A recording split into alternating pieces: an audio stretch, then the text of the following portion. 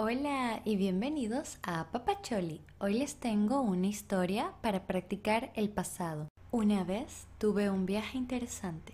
Cuando fui al aeropuerto internacional, todo estaba lleno de propaganda e idolatría política como todo en Venezuela. No obstante, no me impresionó lo vacío que estaba el aeropuerto. Hice la fila y entregué mis maletas. Luego mi madre y yo vimos una máquina expendedora casi vacía. Así que entramos en la zona de embarque y era desolado. Lo único bonito fue esta tienda de souvenirs llena de figuras de mi Venezuela, algo muy típico e importante en mi país.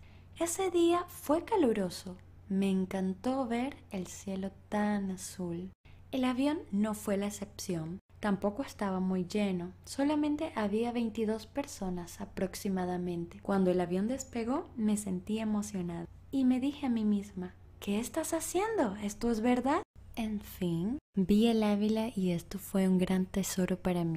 Dos mil años más tarde. En este avión no nos dieron ni una galleta y me sentí molesta pero pude ver la selva, el Amazonas, los ríos, los tepuyes y esto fue magnífico. El clima cambió, se convirtió en un cielo gris, lluvioso y un clima pegajoso. Sí, por culpa de la humedad. En la noche llegamos al hotel y el calor era insoportable, pero era muy cómodo y limpio.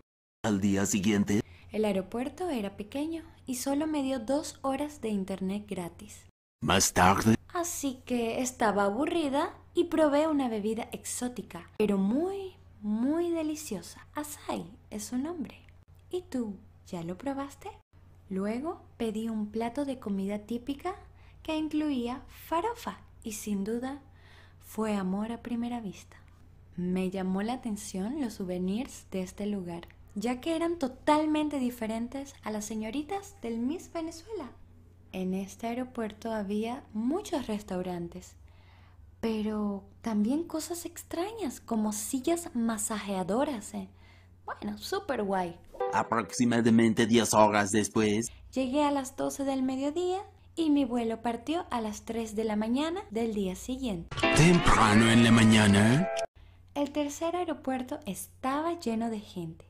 Había personas de todas partes.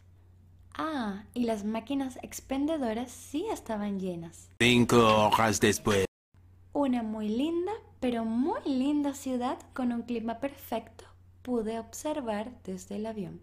Sí, y las aeromosas nos trajeron golosinas. Yo les pedí de todos los tipos. Fue un recorrido genial, pero al llegar encontramos a un taxista de Uber. Después de subirnos, lo primero que dijo fue, quiero una esposa venezolana. Mi madre y yo nos miramos y entonces pensé, Estamos perdirigidos, estamos perdirigidos, dije... Flanders, reacciona, reacciona ya. Gracias, Homero, no sé qué me... Homero, no te pases. gracias a Dios, era un hombre honesto y nos llevó a nuestro lugar de destino.